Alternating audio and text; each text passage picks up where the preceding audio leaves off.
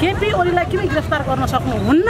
जो व्यक्तिले अदालतको कानुनै मान्दिनँ भन्थे क्या? जो काली माटीमा तरकारी बेचेर आफ्नो जिन्दगी उपार्जन गर्थे। केपी ओली त यस्तै जनताबाट चाहिँ यसै ढलोटी गरेर यिनीहरू यिनीहरूको पसिना भट्टाचार गरेर यसै गरी चाहिँ पालिएको मान्छे हो नि त। तिमीहरूको पनि डाटा एकै गरिरहेको छौँ नेता जुन नेता भन्नुहुँदाहरूको हामीले एकै गरिरहेको छौँ। याद रहोस् नेपाली जनता जाग्न लागिसकेको छ के भन्नु यी नेतालाई भन्ने शब्दै छैन। लाज लाग्छ कि यिनीहरूलाई भन्दाखेरि पनि? हामी राकेश जुलुस गर्छौँ हामी हरेक थरी गर्छौँ हामी उतङ्ग मचाउँछौँ हेर्नुहोस्। युद्धमा हिँडेको सिपाही कहिले पनि डराएन के हेर्नुहोस् मृत्युदेखि डराएन। हामी चाहिँ युद्धमा हिँडेको सिपाही हो के? प्रधानमन्त्री केपी ओलीले अदालतको आदेश म मान्दिनँ भन्दाखेरि यो कानुनले कहिले चाहिँ केपी ओलीलाई चाहिँ गर्न सकेको थियो? जारी छ हाम्रो आन्दोलन जारी छ। कदापि रोकिन्न कदापि झुकिन्न। हामी बरु लिमिटेड नै हुन तयार छौँ। एउटा फेसबुकमा लेखेकै भरमा एक दुई शब्द बोलेकै भरमा आधा रातमा उठाएर ल्याउने मुजुल्का उठाउँदा समय नलेखिदिने। भने सरकारको अराजकता छैन यहाँ। गरिब जनता सोचेरै यिनीहरू मोटाएको होइन र। सरिता म्याम आज तपाईँहरूको साथी उन्नाइस दिन पछाडि हिरासत मुक्त हुनुभएको छ। हिरासत मुक्त त के भन्नु उहाँहरूलाई तिन तिन हजार रुपियाँ धरोटीमा छोडिएको छ। सायद उहाँहरूले तारिक पनि धाउनुपर्छ होला। सन्तोषजीको यो कुरा सुन्दाखेरि हामीहरूलाई के कसुरमा तपाईँहरू लाँदै हुनुहुन्छ भन्दा उनीहरूले कुनै कसुर पनि देखाउन सकेन भन्दाखेरि पनि तिन हजार धरोटी खुलो। के भन्नुहुन्छ यो विषयमा? तपाईँहरूले एउटा कुरो भन्यो म। जुन अहिलेको निवर्तमान प्रधानमन्त्री केपी ओलीले अदालतको आदेश म मान्दिनँ भन्दाखेरि यो कानुनले कहिले चाहिँ केपी ओलीलाई चाहिँ गर्न सकेको थियो? थिएन नि। भने कानुन त या केपी ओलीलाई होस् या सन्तोषलाई होस् या ताराले होस् या मलाई होस् कानुन भने त सबैको लागि बराबर थियो नि। तर अहिलेको यो अन्धो कानुन अरू अन्धो गृहमन्त्री भन्छु म म उहाँलाई चाहिँ मेरो प्रश्न हो। केपी ओलीलाई किन गिरफ्तार गर्न सक्नुहुन्न? जो व्यक्तिले अदालतको कानुनै मान्दिनँ भन्थे क्या? अदालतै मान्दिनँ भन्थे नि त। भने सुतेको ठाउँमा एउटा जनताको छोरालाई एउटा फेसबुकमा लेखेकै भरमा एक दुई शब्द बोलेकै भरमा आधा रातमा उठाएर ल्याउने मुजुल्का उठाउँदा समय नलेखिदिने। भने सरकारको अराजकता छैन यहाँ यिनै सरकारले जनतालाई बोल्न पाइन्छ बोल भनेर संविधान ल्याइदिने। जनताले दुई शब्द बोला त्यो जनतालाई हातगाडी लगाएर कठिनमा राखिदिने। जुन जनताले दबाईसँग खान नपाएको आजको तपाईँको ढलोटी छ नि हामीले कसरी तिरौँ थाहा छ? प्रति व्यक्ति हात रोकेर जम्ले हात गरेर हामीले आज चन्दा उठाएर चाहिँ हामीले ढलोटी तिर्यौँ बुझ्नुभयो नि? यिनलाई भात खान हम्मे हम्मे छ कि? जो काली माटीमा तरकारी बेचेर आफ्नो जिन्दगी उपार्जन गर्थे। केपी ओली त यस्तै जनताबाट चाहिँ यसै ढलोटी गरेर यिनीहरू यिनीहरूको पसिना भट्टाचार गरेर यसै गरी चाहिँ पालिएको मान्छे हो नि त।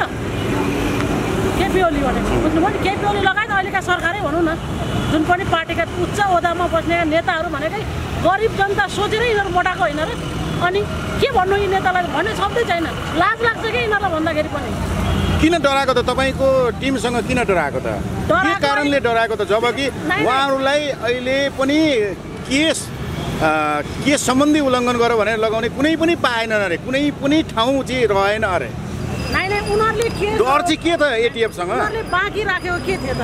नेताहरूको कुनै इज्जत छ? उनीहरूले जनताले इज्जत गर्ने ठाउँ कहीँ राखेका छन्? ने प्रत्येक नेपाली जनता वृद्ध बुढा बालक अपाङ्ग स्टुडेन्टदेखि लिएर केपी ओली मुर्गा बाँच्न भन्ने मान्छे को छ? कोही छ? प्रत्येक नेपाली जनता अहिलेको सरकारप्रति आक्रोशित छ भने भन्न नपाउने बोल्न नपाउने। यिनै केपी ओली के भन्छन्? हिन्दू धर्म भनेको के हो भन्छन् नि?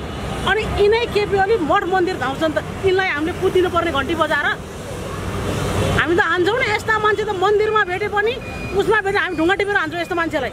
हामी मान्दैनौँ। बुझ्नुभयो नि? जनतालाई त बाँच्न हम्मे हम्मे बनाएको छ न रोजगार छ न व्यवसाय छ एउटा काहीँ कतै केही गरी खाउँ भने पनि गरी खाने वातावरण छैन। दिनमा दुई हजारको व्यापार हुन्छ कि हुँदैन त्यो व्यापारको पनि सय पर्सेन्ट काटेर उनीहरूलाई हामीले के बुझाउनुपर्छ कर बुझाउनुपर्छ हाम्रो करबाट मोटाका प्रधानमन्त्री राष्ट्रपति गृहमन्त्रीले हामी जस्तालाई अरेस्ट गर्नु हामीलाई त गौरवको कुरो हो। कतिजना समाज समाज अझै। तयार हुनुहुन्छ। एकदम। केपी ओलीको अर्को किडनी गयो भने पनि त्यो किडनी हाल्नको लागि पनि यसै गरी ढलोटी उठाएर हामी फेरि पनि तिर्छौँ भनेपछि तपाईँहरूसँग डराएको आउँदै गरेको असोज तिनको जुन संविधान छ तपाईँहरूले संविधान नै उलटपुलट पारिदिनुहुन्छ देशमा काया पलट नै हुन्छ भन्ने तरिकाले डराएको हो भनेर नेपाली जनताले बुझ्दा हुन्छ र त तपाईँहरूको साथीलाई पक्राउनु पक्रिनु भनेको? त्यो त हो त। संविधानले के दिएको छ हामीलाई भने? नेपाली जनताले बहत्तरको संविधानले के पायो? यसको उत्तर प्रधानमन्त्रीसँग छ।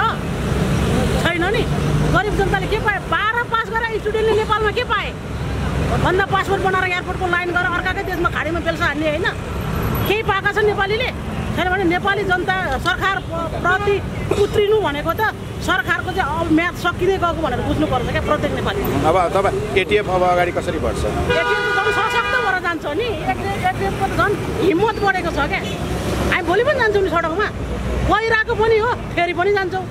एटिएफलाई त कुनै पनि उठाउने एटी न A T F any time force हामी एनी टाइम नै सडकमा हुन्छौँ त। कतिचोटि समात्ने हो र सरकारले कतिजना र? भनेपछि तपाईँहरू यो व्यवस्था अवस्था परिवर्तन नगरिकन तपाईँहरू सडकबाट ब्याक आउनुहुन्न। जबसम्म व्यवस्था परिवर्तन नगरेर यो नेपाल हो यो यो देश नेपाल हो यो माटो नेपालको हो भनेर जबसम्म नेताले नबुझेसम्म हामी निरन्तर सडकमै हुन्छौँ। सर नमस्कार। तपाईँ उन्नाइस दिनको जेल बसाइ भन्ने या अब के भन्ने होइन आज तपाईँलाई रिहा गरिएको छ। यो रिहा हुँदै गर्दा तपाईँलाई मनभित्र के कस्ता काउकुतीहरू लागेका छन् त बताइदिनुहोस्। होइन हामी उन्नाइस दिनसम्म हामी जेलमा बस्दा चाहिँ हामीलाई गौरव भएर आएको छ के? नेपाल यो सरकार हामी त्यही हामी सातजनादेखि यति डराएको रहेछ नि।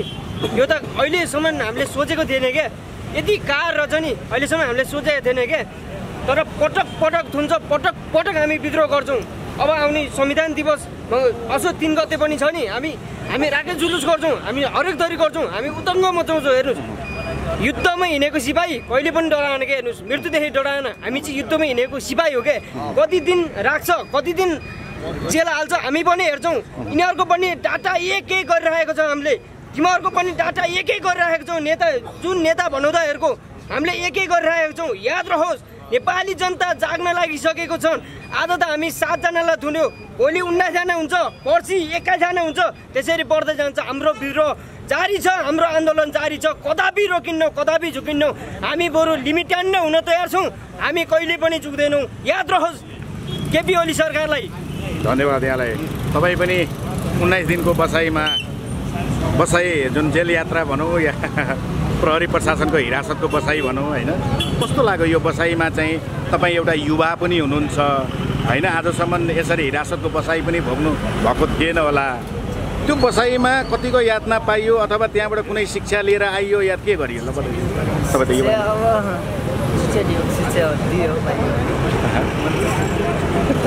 त सर अन्तमा के भन्न चाहनु शिक्षा हामीले एउटा लेसन सिक्यौँ। हामीले राष्ट्रवादीहरूलाई जसरी आज राति एक बजे जसरी प- धरपकड गरेर पक्रिएर हामीले जेलमा अहिले राखियो।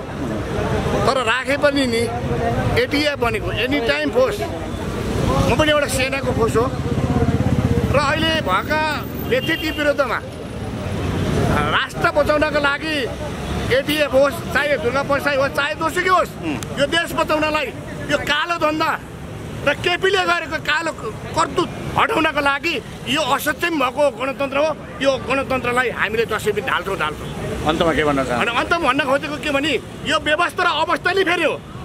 आज पूर्वबाट कुदाएको एउटा बाघ छ त्यो बाघ हो भनेको दुर्गा प्रसाद हो अब राष्ट्रवादीहरू सबै एकता भएर अगाडि बढ्नुहोस् राजेन्द्र लिङ्गे होस् कमल थापा होस् चाहे दुर्गा प्रसाई होस् चाहे जोसुकै होस्। राष्ट्रभक्त र राष्ट्रप्रेमीहरू देश बचाउनका लागि धर्म बचाउनको लागि संस्कृति रीति रिवाज र कुठी बचाउनका लागि तमाम काठमाडौँ भक्तपुर ललितपुरमा रहेका आम नेपाली दाजुभाइहरू तपाईँहरू अब उठ्नुहोस् राष्ट्रिय झन्डा बोकेर राष्ट्रिय एकताभित्र आउनुहोस्। तपाईँको लागि म लड्नको लागि तयार भएर निक्लेको सडक युद्ध हुँ। धन्यवाद।